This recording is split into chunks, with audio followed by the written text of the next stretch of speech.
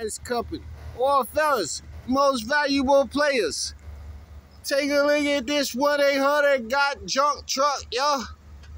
Now, this is literally how you turn trash into cash, bros.